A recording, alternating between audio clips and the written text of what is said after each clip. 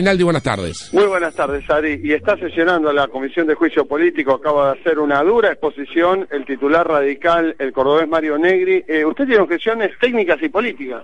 No, más que objeciones, lo que hemos dicho es que esto estamos asombrados, nunca había visto yo un disparate tan grande en un fundamento de una nota que no sabían, ahora se han dado cuenta cuando le di lectura yo, del ciudadano Aníbal Fernández, que está vencido el año parlamentario, debería estar en el cuarto subsuelo, en el archivo esa nota, porque es del 14. Más allá de esta cuestión técnica, usted tiene reparo. Es una cuestión técnica, esto es una cuestión seria, porque esto es un mamarracho, sino. En segundo lugar, no tiene ninguna competencia esta comisión. Acá no hay ningún pedido de juicio político contra el doctor Fay.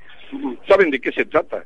Acá hay una enorme simplificación. De lo que se trata es ver si pueden dar el último salto a ver si pueden tomar la Corte Suprema de Justicia. Y eso es la verdad, y faltan seis meses para el gobierno, y para eso se necesitan mayorías agravadas, y la Corte puede funcionar igual, independientemente, como se ha hecho referencia acá, de la edad o no del doctor Fay, que además le quiero decir que los fundamentos que han dado y que todos han escuchado, han dicho que la Constitución fijó un límite de 75 años, sí es cierto, pero el inciso que hace referencia a eso fue declarado nulo por la Corte Suprema de la nación argentina por no haber estado incluido en el debate de la constitución del 94. Esto es un manotazo de ahogado que degrada muchísimo a las instituciones, es un mamarracho lo que están haciendo adelante y es pasible de cualquier impugnación judicial. Más allá de esto, no se está pidiendo el juicio político de Fay, sino que se certifique su aptitud psicofísica. Eso puede pedir que vayan a tomar un café con él. La comisión no tiene ninguna facultad para eso. Tiene que haber una denuncia de un particular o de un diputado. ¿Por qué no se animan a pedirle el juicio político?